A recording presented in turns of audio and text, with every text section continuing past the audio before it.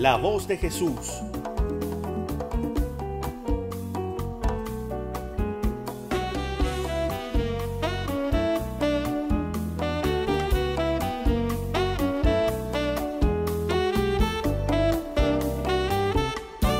Con Monseñor Roberto Sipols. Paz y bien en nuestro Señor Jesucristo. Soy Monseñor Roberto Sipols y Dios ha hecho posible que nos encontremos tú y yo una vez más en tu programa La Voz de Jesús para compartir las riquezas de la palabra de Dios.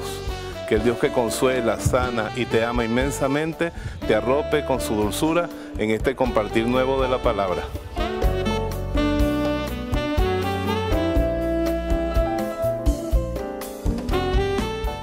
En aquel tiempo dijo Jesús a sus discípulos, si tu hermano peca, llévatelo a solas y repréndelo.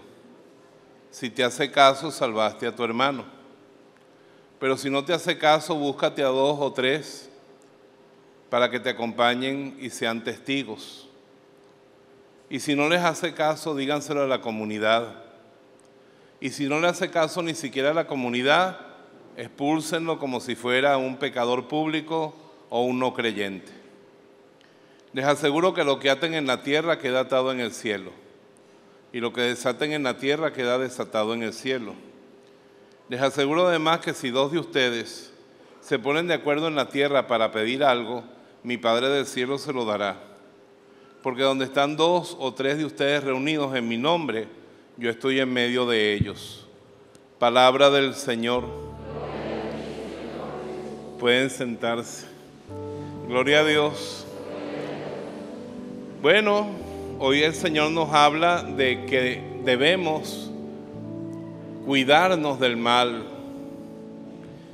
Cuando yo estaba meditando esta palabra, me acordaba del libro del Génesis, cuando Dios le dice a Caín, ¿dónde está tu hermano? Y Caín le contesta, ¿acaso soy yo guarda de mi hermano? Pues sí, dile que tienes al lado, tú eres guardián de tu hermano aunque no te guste, aunque no te dé la gana de aceptarlo, tú eres responsable de cómo se comportan los que están alrededor tuyo. Y dile que tienes al lado, y aunque te dé rabia, ellos son responsables de ti, díselo el del otro. ¿Por qué da rabia? Porque, dígalo ahí conmigo, la corrección da rabia. Tú le dices a, a tu esposo, mira mi amor, los pies te huelen mal, eso le da rabia al tipo. ¿Es así o no es así? Tú le dices a alguien, bueno, es verdad que está escaso el desodorante, pero bicarbonato y limón se consigue, o leche magnesia, mijo, porque eso da rabia. Que, que le digas tú a una mujer, mija, ese tinte que te echaste, pareces un cerro prendido, mi amor, le da rabia. Toda corrección que se nos hace, y sobre todo si es en el campo moral, nos da rabia. Pero no tenemos derecho de callar. Ahora, mucho cuidado. Dígale al de al lado, Dios no te mandó a juzgar a nadie. Dígale ni a condenar. Y mucho menos a chismear, dígale. Porque existe el chisme católico. Aquí abunda el chisme católico. Entre nosotros, el chisme católico. El chisme católico siempre tiene esta frase, hay que orar mucho por... Hay que orar mucho por fulana, la hija es una piazo loca, la vi el otro día en una moto con un tipo todo tatuado.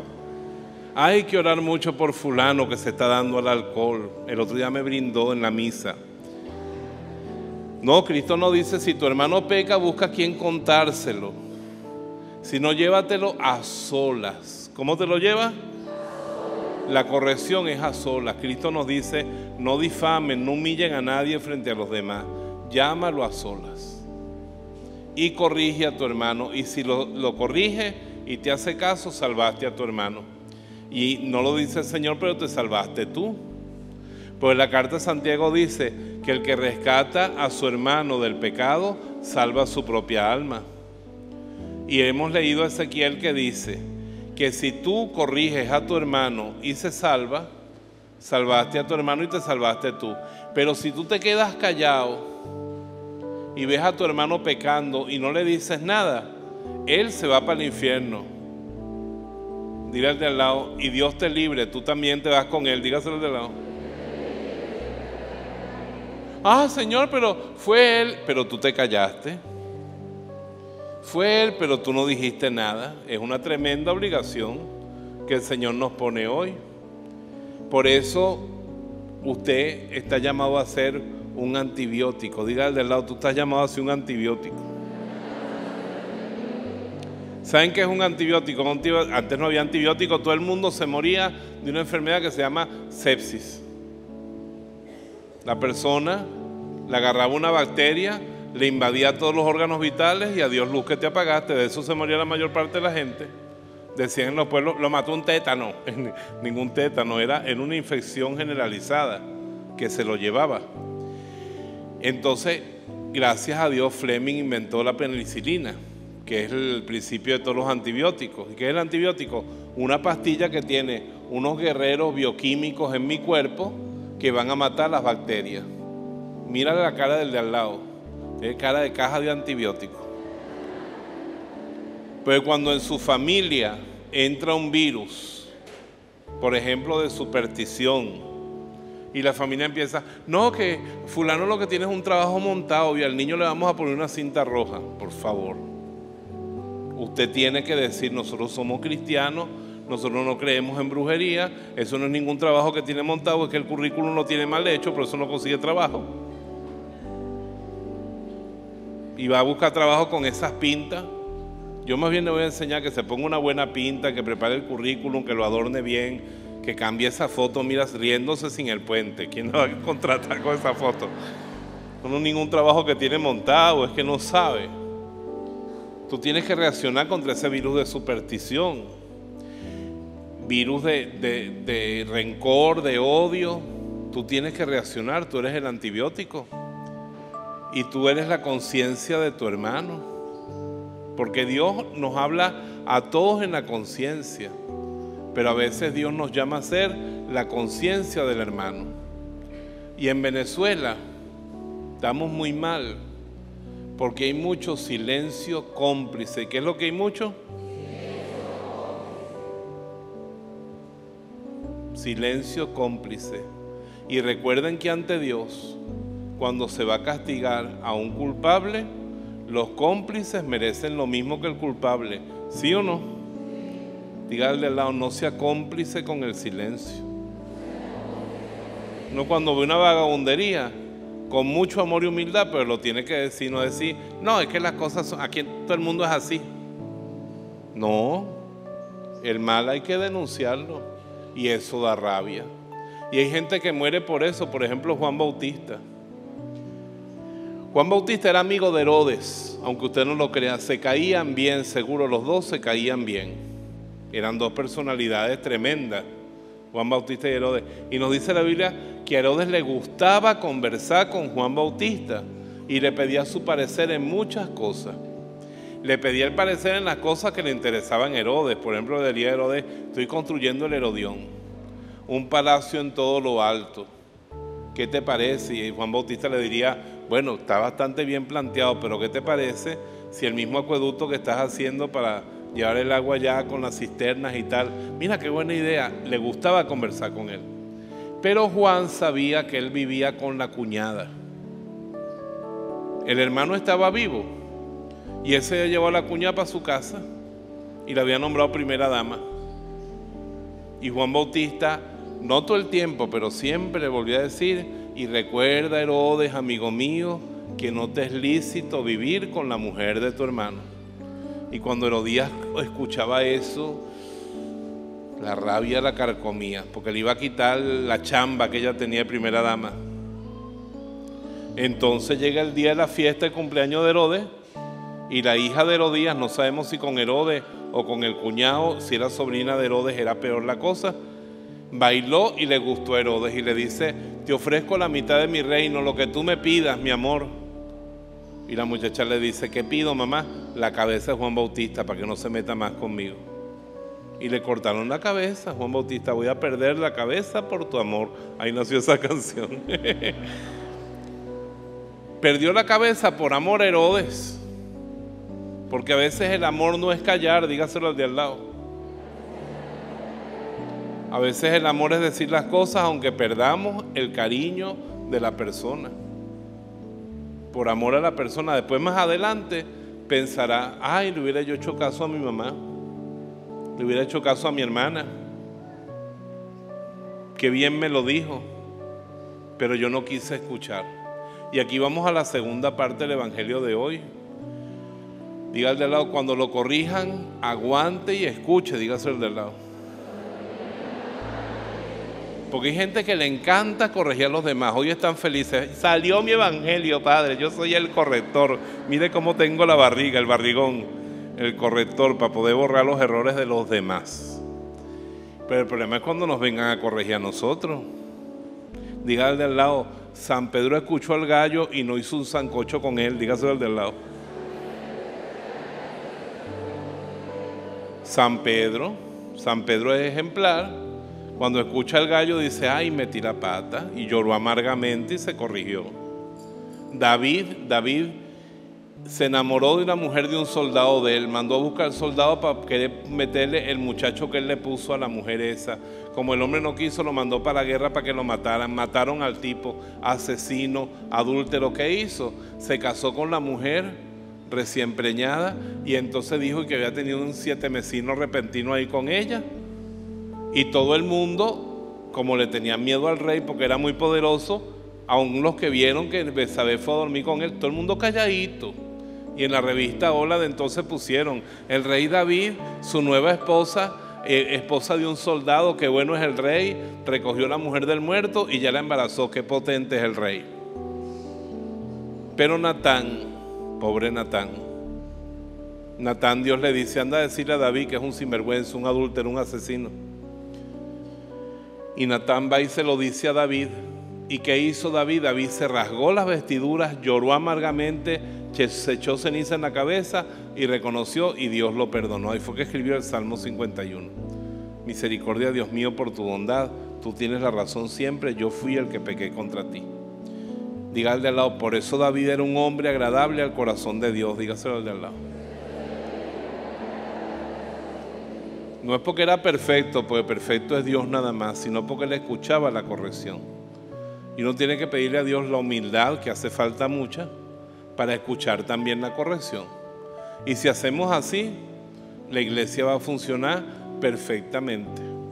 Porque el SIDA no mata a nadie. Nadie se ha muerto de SIDA nunca. El SIDA es una enfermedad que te quita las defensas. Auto, eh, eh, se llama inmunodeficiencia adquirida. Esa persona tenía defensa, pero cuando adquiere el, virus del SIDA, el SIDA le destruye todas las defensas y no hay antibiótico que le valga ni puesto ni nada, ni los suyos naturales del cuerpo, y cualquier enfermedad se lo come. El SIDA es la pérdida de las defensas. Nosotros tenemos en nuestra sociedad hoy y en nuestras familias y en nuestra iglesia un síndrome de inmunodeficiencia adquirida. Nadie se mete en la vida del otro. Mira cómo se hunde. ¡Ah! Bueno, esa es su vida. Se quiso hundir. No, el Señor te ha hecho a ti guardián del hermano y al hermano lo ha hecho guardián tuyo. A mí esta historia de hoy me hace pensar mucho en San Agustín, que acabamos de celebrar su fiesta. Agustín de Hipona era un hombre que le pagaban por hablar, hablaba muy bonito y a la gente le gustaba escucharlo. Y era buen mozo, era un hombre bello y atractivo y simpático. Claro, para ser tan buen orador tenía que ser muy simpático. Y las mujeres le llovían como moscas y tenía varias mujeres. Y con una hasta tenía un hijo, se llamaba Diodato, Diosdado, el hijo de San Agustín, un hijo natural que él tenía. Y después, con todo eso, San Agustín tenía mucha plata, mucha fama. Pero la mamá siempre estaba atrás. Agustín, estás metido en esa religión maniquea esa religión no es la de Dios. Agustín, ten cuidado, no te pegues del dinero. Tengo una sola mujer, chico, cásate con la mamá de Diodato, anda a andar por ahí con tanta loquera, Agustín, por el amor de Dios. Entonces, él quería a la mamá, pero ya lo tenía obstinado. Entonces agarró un barco y se fue para Milán, de Cartago a Milán, del África para Europa. Y en Milán tuvo más éxito todavía porque el diablo lo ayudaba. Hasta predicó frente al emperador romano. Entonces, ¿qué pasó? La mamá se montó en un barco con Diosdato y la mamá la mamá del muchacho, y se fue para Milán y lo alcanzó. Dígale al de al lado, si usted huye, la conciencia agarra un barco con todo lo que lo acusa y lo alcanza. Dígase al de al lado.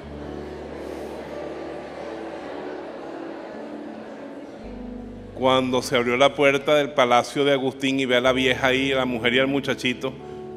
¿Y quiénes son esos? Mm, mi mamá. ¿Y esa es tu hermana? No. Y ese es tu, hermanito. Y la vergüenza le subió los colores de la cara. Y la mamá ya empezó inmediatamente a, Dios rogando y con el mazo dando. Rezando, preparándole la comida que él le gustaba, dándole masajitos en la tarde en la espalda su bebé, su niño querido. ¿Y porque tú no te casas con la medio dado? ¿Y porque tú no arreglas la vida, Agustín, y bautízate? que no te has bautizado. Mamá, vas a volver a empezar, mamá, vas a volver a empezar. Y la mujer volvió a empezar de vez en cuando. No fastidiosa, sino con amor, porque hay que ser así. Hay que dar los remedios dosificados, ¿sí o no? Dígale al lado, no como Brutacia que se tomó el frasco completo, dígase de lado. Brutacia le dieron un jarabe, en vez de tomarse una cuchara, se jaló el frasco, murió ese día. Uno la, la corrección tiene que ir así en el momento oportuno. Y entonces llega un momento en que ella lloraba tanto por él y rezaba tanto que San Ambrosio le dijo, no se puede perder el hijo de tantas lágrimas. Porque dígale al de al lado, si usted corrige, tiene obligación de rezar por esa persona, dígaselo al de al lado. Porque si no es como no está haciendo nada. Entonces, el muchachito se murió. Y ya él no tenía obligación de casarse con la mamá. Pero después Agustín tuvo una conversión tremenda. Un día agarró la Biblia en el patio, leyó un texto de San Pablo y Agustín de Hipona se convirtió en San Agustín de Hipona y terminó siendo obispo, padre y doctor de la iglesia, imagínense eso. Y patrón de Guacara. Para más Bueno, entonces eso fue porque la mamá perseveró en eso.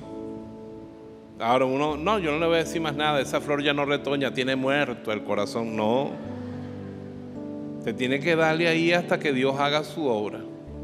Y después, pero con amor. San Francisco de Asís una vez recibió una carta que se nos ha perdido de un sacerdote que estaba puesto al frente de otros hermanos franciscanos. Pero estaba obstinado porque esos hermanos eran muy malos y no le hacían caso. Y decidió renunciar. Y San Francisco lo anima, le dice, no te acepto la renuncia. Te toca seguir amando a tus hermanos, llevándolos a Dios.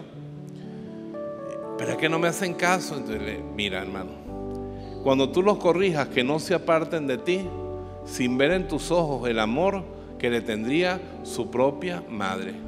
Dile al del lado, tú no tienes derecho de corregir a una persona que tú no ames, dice el del lado.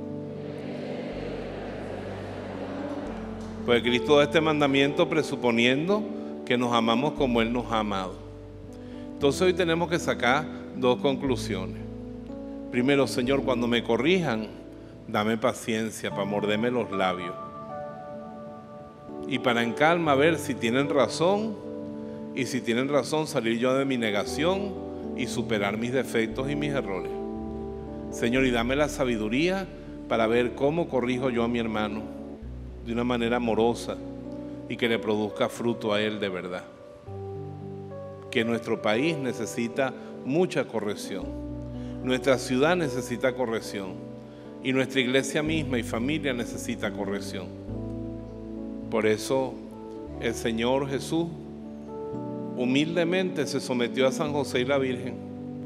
Y yo estoy seguro que aunque Él era Dios perfecto y hombre perfecto, tuvo que aprender y la Virgen lo corregiría. Dígale al lado, ni Jesús nació aprendido y me va a decir que usted está aprendido, yo muerde aquí, que aprendido vas a estar. Y el ser humano tiene que escuchar eso toda la vida. San Francisco, nuestro padre, una vez, ya estaba con las llagas de Cristo en el cuerpo. Ya estaba en, el culmen de la santidad. Era otro Cristo. Pero él quedó ciego. Él murió ciego. Porque él agarró una, una infección en los ojos en Medio Oriente y esa infección lo dejó ciego. Él escribió el cántico del hermano Sol cuando ya estaba ciego. Entonces ciego y con las llagas no podía caminar, aunque Santa Clara le había hecho unos zapaticos de piel que todavía se conservan. Entonces, aunque estaba prohibido que los frailes anduvieran en caballo, le consiguieron una mula. Un arriero lo llevaba. Entonces, estaba en Borgo San Sepolcro, lo llevaban a Asís a que se muriera. Y cuando lo llevan en el camino, el arriero, que es un hombre ordinario, le dice, ¿y usted es el que llaman Francisco de Asís? Sí, ese soy yo. Debe ser santo usted o yo, porque la gente cree que usted es un santo. Así que trata de comportarse como lo que la gente cree que usted. No vaya a ser otro gañán, otro mentiroso más, que después decepcione a la gente. Usted se imagina lo que es decirle eso a San Francisco de Asís. ¿Qué hubiera hecho un hombre soberbio? Falta respeto. ¿Qué te has creído? ¿No ves las llagas de Cristo? Aguao.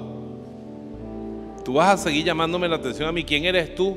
Que a lo mejor hasta tienes tres mujeres. Eres un sinvergüenza. Además, en lo que me dijiste, ha dicho cinco groserías. San Francisco, ¿qué hizo? Pidió que lo bajaran de la mula. Los hermanos que lo veían tan sagrado dijeron, se habrá puesto bravo. Lo bajaron de la mula y dijo, ¿dónde está el arriero? Y como él estaba ciego, se lo llevaron. Entonces le tocó la cara y fue bajando, fue bajando San Francisco hasta que le encontró los pies al arriero y se los besó. Gracias, gracias. Hacía tantos días que nadie me hacía una buena corrección. Dios le pague, Dios le pague. Sigamos el camino. Así era San Francisco, una guara. Dígale del lado que queda para nosotros. La humildad de San Francisco que escuchaba la corrección. Y mire, afine su conciencia. Haga silencio. Medite. Porque hoy tenemos tanta bulla que no nos paramos a pensar cómo estamos viviendo. ¿Es así o no es así? Y dice la Biblia, quiero terminar con esto, maldito el pueblo que aprende a llamar bueno lo malo y malo lo bueno. Y esa maldición nos viene a nosotros porque no meditamos, porque no nos paramos a reflexionar nunca. Cuando no tenemos prendido la radio, tenemos perdido el iPod. Cuando no está el iPod, está el MP3. Si no está el iPhone. Si no tenemos prendido el iPad o si no tenemos prendido el televisor. Si no estamos viendo una película, pero hay bulla todo el día, ¿sí o no? Hay señoras que prenden el radio todo el día. Y eso es bulla todo el día, aunque sea música cristiana. Uno tiene que apagar y reflexionar. Porque por eso hemos terminado con la filosofía de la vida de Eudomar Santo. Como vaya viniendo, vamos viendo. Y eso está muy mal hecho. No somos amos de nuestro propio destino y no sacamos la basura. Cuando uno no reflexiona, no saca la basura, la basura se pudre, se queda entre nosotros y terminamos nosotros convirtiéndonos en basura. Por eso, qué bello ese salmo de hoy. Señor, que no seamos sordos a tu voz. Dios puso la conciencia en el hombre y encima le regaló hermano para que refuercen la conciencia que no seamos sordos a esa voz, que no la callemos con tanto ruido. Párate. Esta mañana yo haciéndole caso a esto, terminé la primera misa, subí y mientras desayunaba pensé, Señor, ¿qué tipo de sacerdote soy yo ahora? ¿Cómo es mi relación con el dinero? Pues sabes qué feo, un cura que tenga una relación enferma con el dinero. ¿Cuál es mi vivencia de la pureza, de la castidad. Señor, ¿cuál es mi relación con mis fieles, con mis hermanos? Señor, ¿cómo está mi relación con mi familia? Hermano, no salí raspado, pero tampoco saqué 20 puntos. mi conciencia se refrescó y estoy esperando esta tarde que yo tenga un cuadernito que espero que nunca caiga en sus manos, donde yo escribo con mis propias claves lo que tengo que cambiar, lo que tengo que mejorar. Yo creo que Brian va a cantar hoy una canción bien bonita, que es la oración de los alcohólicos anónimos. Señor, dame serenidad para aceptar las cosas que no puedo cambiar y dame coraje para cambiar las que sí puedo cambiar. Y dame sabiduría para distinguir unas cosas de las otras. En mí y también en los demás. Porque después también esto, hay cosas de los demás que uno quisiera corregirlas, pero no las pueden cambiar. Entonces nos toca ejercer la paciencia. Y total que Dios nos dice hoy, hay que vivir la caridad. Tú me dices, Padre, lo que nos plantea hoy es difícil y largo. Bueno, la Biblia dice en el libro de Job que la vida del hombre en la tierra es como un servicio militar. Pero no podemos dejar que el hermano se pierda. Si tú ves un perro que lleva un bebé en la boca para comérselo, tú peleas con el perro, ¿sí o no? Aunque te muerda, tú le arrancas el bebé. Mira que el diablo carga en la boca el alma de seres que nosotros amamos y nos quedamos tranquilos. Eso no puede ser. Vamos a cerrar los ojos un momentico y a darle un saludito a nuestra conciencia. Hola conciencia, tiempo sin vernos. Si tú me pides que baje el volumen, pues yo te pido a ti que lo subas, que me hable fuerte, que te estás quedando dura. Sí, porque yo muchas veces te desatiendo. Y a medida que te desatiendo, tu voz se hace más débil. Y tú te haces más paralizada, más, más dura, más difícil de moverte. Perdóname conciencia. Tú eres la voz de Dios. ¿Qué me han dicho? que yo tenga que escuchar? ¿Qué me han pedido que yo tenga que atender? ¿Cuáles han sido las últimas correcciones que me han hecho las demás personas?